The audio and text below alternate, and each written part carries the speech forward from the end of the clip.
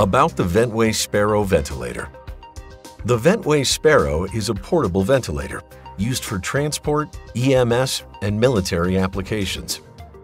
The situations for which it is intended are characterized by attendance of emergency response teams, requiring a simple yet highly effective ventilator that is self-sufficient and lightweight.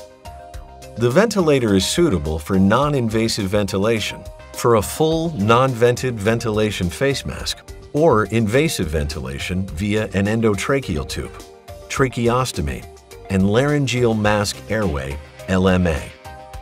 The Ventway Sparrow ventilator is intended for emergency use and transportation of adult and pediatric patients weighing at least 5 kilograms. The ventilator is a restricted medical device intended for use by qualified, trained personnel under the direction of a physician.